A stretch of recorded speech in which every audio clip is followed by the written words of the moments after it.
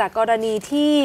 อ่าคุณจิรัตน์ทองสุวรรณ สสฉะเชิงเซาของพรรคอนาคตใหม่ เข้ารณรงค์แนวคิดยกเลิกการเกณฑ์ทหารในโรงเรียนไผ่แก้ว จังหวัดฉะเชิงเซาเมื่อวันที่ 2 ธันวาคม แล้วก็บอกว่าเตรียมเปิดการรณรงค์ในโรงเรียนแห่งอื่น ๆ ด้วยโอ้โหปี๊ดเลยค่ะสำหรับนะฮะรัฐมนตรีว่าการกระทรวงศึเดี๋ยวกต้องษาต้องไล่มาก่อนเรื่องนี้จริงๆอ่าหม่อมจุลเจิมยุคนเนี่ยค่ะเป็นคนเปิดเรื่องนี้อืมตามมาด้วยคุณหมอวรงค์ตามซัดอีกทีอืมนะครัฮะบ แล้วก็มาวันนี้ก็กลายเป็นคุณนัทพลทีอ้าวประสถึงงค์เจ้ากระทรวงสินะคะฮะคุณนัทพลค่ะโพสต์ Facebook บอกว่า แม้กระทรวงศึกษาจะมีนโยบายส่งเสริมการเรียนรู้ระบอบประชาธิปไตยในหลายมิติ แต่การที่นักการเมือง หรือพรรคการเมืองฉวยโอกาส และใช้กลวิธีเพื่อเข้าไปหลอกล่อโฆษณาชวนเชื่อและยุยงให้เกิดความเกลียดชังในสังคม แก่เด็กและเยาวชนถือเป็นเรื่องเลวร้ายมาก สสทุกคนทุกพักควรร่วมมือกันในเรื่องการศึกษา อย่ามาใช้เยาวชนที่เป็นอนาคตของชาติเป็นเครื่องมือทางการเมืองนะฮะถึงตอนนั้นพวกคุณออกไปเป่านกหวีดกันนะฮะปิดมหาวิทยาลงมหาวิทยาลัยนะฮะไม่ต้องสอนหนังสือเอาหนังสือเห็นนัแล้วกดศึกษามไปเด็กปิดออกไปเนี่ยเนี่ยฮะไม่เห็นเป็นไรเลยที่คุณทำคุณทำได้ใช่ไหม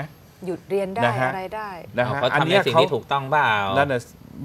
นะฮะมันถูกต้องตรงไหนพี่ก็เนี่ยครับนะนะเขาไม่ได้ขอให้ไปล้มถูกต้องใครนะครับ ไม่ได้ให้ไปล้มประชาธิปไตยเขาก็เอาข้อมูลไปบอกค่ะ ถูกไหมฮะ ทีนี้คุณจะเชื่อหรือไม่เชื่อจะฟังหรือไม่ฟังครับมันไม่มีใครมีอำนาจรัฐในการบังคับ เนี่ยค่ะ คุณจิรัตน์ในฐานะที่เข้าไปรณรงค์ในโรงเรียนเนี่ยก็เลยโพสต์ Facebook โต้เลยนะคะ บอกว่าการรณรงค์ในโรงเรียนเนี่ยไม่ใช่เรื่องร้ายแรงหรือผิดกฎหมายอะไร กองทัพควรครับเปิดพื้นที่ให้เด็กและเยาวชนได้รับข้อมูลอย่างอิสระบ้าง เพราะถือเป็นผู้ได้รับผลกระทบโดยตรง หากประเทศนี้เป็นประชาธิปไตย ผู้ใหญ่ในบ้านเมืองไม่มีสิทธิ์ไปคิดแทนเด็กและเยาวชน รวมทั้งตัดสินใจว่าอนาคตของพวกเขาจะต้องมาฝึกทหารโดยนะฮะอ้างผลหรือประโยชน์กำลังคิดชติว่าเด็กพวกนี้อายุยังไม่ถึง18 ลงเลือกครับตั้งไม่ได้ การใครก็ตามไปคุยกับเด็กอายุต่ำกว่า 18 ถือว่าเป็นการล้างสมองเดี๋นี่ยวแหละสิฮะเดี๋ยวสิแต่ใครเด็กก็เขาก็ตามต้องที่ไม่ใช่ฝ่ายคุณเปล่า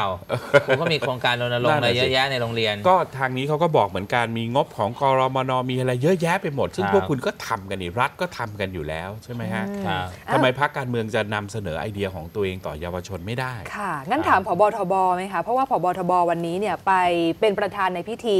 กระทำสัตย์ปฏิญาณตนและสวนสนามของนักศึกษาวิชาทหารประจำปีนะคะ โดยบอกว่าแม้การเรียนวิชาทหารจนครบหลักสูตร จะทำให้ผู้เรียนได้รับยกเว้น ไม่ต้องรับราชการเป็นทหารกองประจำการ แต่ว่าในสถานการณ์ปัจจุบันทั่วโลกกำลังกลับมาให้ความสำคัญ กับการเสริมสร้างกำลังทหารและกำลังสำรอง เพื่อเตรียมเผชิญหน้ากับภัยคุกคามรูปแบบต่างๆ และครับการขยายอิทธิพลของประเทศมหาอำนาจ ทุกคนต้องพร้อมกลับมาปฏิบัติหน้าที่เพื่อปกป้องอธิปไตยของชาติ เดี๋ยวเดี๋ยวเดี๋ยวท่านท่านแดงฮะค่ะเอ่อมีประเทศไหนบ้างครับ ที่กำลังจะเตรียมพร้อมเผชิญหน้ากับภัยคุกคามรูปแบบต่าง ๆ และการขยายอิทธิพลของมหาอำนาจอันเนี้ยจริงอยู่ภัยคุกคามแต่ด้วยการอื่นๆไปเพิ่มมีไม่จำมีเป็นรต้อองใช้ดอทหารมีทหารเกณฑ์อะไรเงี้ย ใครทำมาช่วยบอกผมทีที่น่าแต่สนอย่าไปเอาพวกประเทศด้อยพัฒนาประเทศโลกที่อ่าสามประเทศแอฟริกานะฮะ เอาประเทศที่อ่าเขาเจริญแล้วเนี่ยมาตั้งต้นเป็นต้นแบบนะฮะ อยากฟังเหมือนกัน ที่อยากรู้จริงๆเนี่ยคือประเทศที่เป็นประเทศซึ่งเป็นมหาอำนาจทางการทหารเนี่ยประเทศไหน มันทุกประเทศหรือเปล่าที่ต้องมีการเกณฑ์ทหาร ไม่มีในประเทศนี้ในโลกนี้เกือบ 200 ประเทศนี่เข้าใจว่าเกณฑ์อยู่ประมาณ 28 ประมาณเนี้ยนะฮะเหรอฮะแสดงว่าของเรานี่ต้องมีอะไรพิเศษจริงพิเศษแบบนี้หรือเปล่าขนาดคะต้องเกณฑ์ทหารกันพิเศษแบบนี้ที่เขาแชร์กันในโซเชียลว่ามีภาพทหารอ๋อทหารเกณฑ์ไปทำงานในบ้านหรือเปล่านั่นแหละนะฮะเนี่ยค่ะ มีกรณีนี้เกิดขึ้นมาเนี่ยมีความคืบหน้านิดนึงนะคะ ที่บอกว่าครับ ภาพทหารเกณฑ์ทำงานในบ้านผู้บังคับบัญชา และสังคมก็วิพากครัษ์บวิจารณ์กันถึงความเหมาะสมเนี่ยพลเอกประวิทย์ค่ะเดี๋ยวนะให้ต้องบอกเลยเป็นที่มาของวัฒกรรมทำไมมีแต่หน้ารับลาบผมน่งงมากรับเป็นตอนไม่แรกเคยได้ยินงงมาก่อนเลย ภาษาอะไรหน้ารับลาบหน้ารับแปลลาบว่าอะไร คือเจ้าของกระทู้เนี่ยเขาบอกว่าทำไมพ่อเนี่ยไม่เอาคนหน้าตาดีๆ คนหน้าตาดีๆมาบ้างมีแต่หน้ารับลาบทำไมมีแต่หน้ารับลาบไม้รับใช้ เป็นภาษาแบบดูเหยียดไอ้นั่นรือดูเปล่าหนังดูละครผู้กองยอดรักมากไปหรือเปล่าเออถามพลเอกประวิตรชอบดูละครไทยมันมีไหมคำเนี้ยหน้ารับลาบไม่เนี่ยใช่หมายความว่าในเรื่องอะพระเอกเขาหล่อไงเขาอ๋อเป็นทหารที่บ้านอ่าอ่านะครับก็เลยพบรักกับนางเอกอย่างนี้อ่าเป็นผู้อ่ากองพลเอกประวิทย์ว่ายังไงบอกว่า ขอเวลาให้เจ้าหน้าที่ตรวจสอบข้อมูลหน่อยอาจจะเป็นข่าวครับเก่าที่เคยเกิดขึ้นมาแล้วก็ได้ ทีนี้ถ้าจะบอกว่าครับเป็นข่าวเก่าเนี่ยงั้นแปลอ่าว่ามันเกิดการปฏิรูปแล้วครับแล้วสิ่งนี้มันต้องไม่เกิดขึ้นแล้วครับถูกไหมฮะมันไม่เกิดขึ้นอยู่ เพราะฉะนั้นสิ่งที่เกิดเนี่ยถ้าเป็นเรื่องเก่า ก็แปลว่าเป็นเรื่องเก่า แต่ถามว่าที่ผ่านมาผมไม่เห็นมีการปฏิรูปอะไรที่จะทำให้การใช้ทหารเกณฑ์ หรือทหารบริการไปรับใช้ส่วนตัวเนี่ยนะฮะมันลดลงเลยนะ ทุกวันนี้ก็ได้ยินอยู่อย่างต่อเนื่องอาจารย์นะอาจารย์วิโรธถามพลเอกประวิทย์แบบนี้ไม่ได้นะคะ ถามไปถามมาเนี่ยพลเอกประวิทย์อารมณ์เสียนะโอ้โหถามแต่เรื่องครับบ้าบออะไรก็ไม่รู้ลองฟังเสียงดูค่ะครับไม่รู้สิมันเป็นเรื่องนานแล้วมั้งก็เรื่องเก่าก็ต้องก็ทำไงได้หาแนวทางแบบว่าว่าเขาดูอยู่แล้วแหละเขาดูอยู่แล้วไม่ต้องหาหรอกโอ้ยหาบ้าบออะไรเลย วันนี้อากาศดีค่ะอากาศใจเย็นค่ะอากาศสบายสบายใจดูดูร่มถามดิมดูถามเลย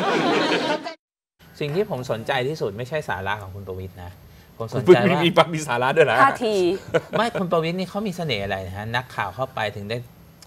ถึงได้แย่เล่นได้อารมณ์ดีขนาดนั้นอ่าคือตกลงนักข่าวเนี่ยเขาเข้าไปเขาไปคุยเล่นนะฮะเขาไม่ได้เขาไม่มีหน้าที่หาความจริงให้เราเลยฮะ คือมันเป็นเรื่องความสัมพันธ์ของนักไม่ข่าวฮะกับอะไรที่ออกมาจากคุณประวิตรนะฮะปากคุณประวิทย์ปากคุณมัอนเป็นภิรัตน์เรื่เนี่อยงเป็นตลกเป็นอะความจริงทั้งสิ้นนะถามคุณวัฒนาดูได้อ่า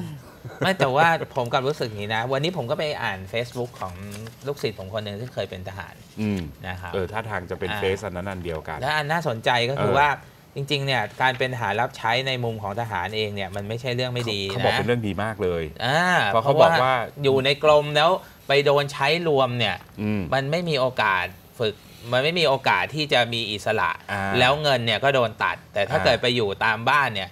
เงิมันนอยู่แค่ครบ ว่าบ้านไหนไม่ดี แต่โดยภาพรวมการเป็นทหารรับใช้เนี่ยมันเป็น มัน privilege ดีนะ อ่า ทีนี้ประเด็นก็คือว่าถ้าสมมุติว่ากองทัพอยากจะรอดเนี่ยไม่น่าจะต้องใช้วัฒกรรมชาตินิยมนะอืม ผมคิดว่าปรับปรุงระบบ 2 ปีเนี่ยอืม ให้มีประสิทธิภาพจริง เช่น ฝึก 6 เดือนเสร็จที่เหลือเนี่ยเอออาจจะออกไปทำงานสาธารณะนะครับ คือยกเลิกการรับใช้ นะครับแล้วก็ยกเลิกการอยู่ในกรมโดยที่ไม่ได้ฝึก แล้วก็พี่แล้วต้องไปใครจะทำอะไรล้างรถก็ไม่พี่รู้รู้ใช่ไหมงฮะสมัยนี้ล้างรถเนี่ยไม่มีต่ำกว่า 120 บาทแล้วนะอ๋อเพราะฉะนั้นลูกหลานบรรดาลูกหลานต่างๆ ของท่านในายพลเนี่ยจะเดือดร้อนกันมากเลย เพราะว่าอาทิตย์หนึ่งอะอย่างน้อยปีหนึ่งมี 52วีคุณก็ต้องล้าง 52 ครั้งอะอ่าพี่ก็คูณ 120 เข้าไปแล้วทีนี้อะนั่นคือผลประโยชน์ของเขาที่จะเสียไปนะฮะ เราก็ขาดการศึกษาเรื่องนี้นะ ว่าอย่างพม่าที่มีทหารอย่างเงี้ยเขามีทหารรับใช้แล้วทำงี้ที่บ้านด้วยหรือเปล่า เออ นั่นน่ะสิ คือทหารทหารประเทศอื่นเนี่ยยังมีทหารที่ต้องไป ไปเอ่อล้างรถเพื่อความมั่นคงเนี่ย เลี้ยงไก่เพื่อความมั่นคงนะฮะปอกทุเรียนเพื่อความมั่นปอกทุเรียคงเพื่อความมั่นคงเนี่ยมันยังไงคือไอ้การรับใช้เนี่ยมันมีส่วนร่วมในความมั่นคงตรงไหนอะอืมอันนี้แหละคือผมคิดว่าเราไม่ได้ว่าเออทหารมีไว้ทำไมอะไรเงี้ยนะถ้าถามว่าไอ้ไอ้บทบาทของการเป็นทหารรับใช้ หรือการที่เข้าไปช่วยงานตามบ้านโดยภาษาทางการเนี่ยมันมีผลอะไร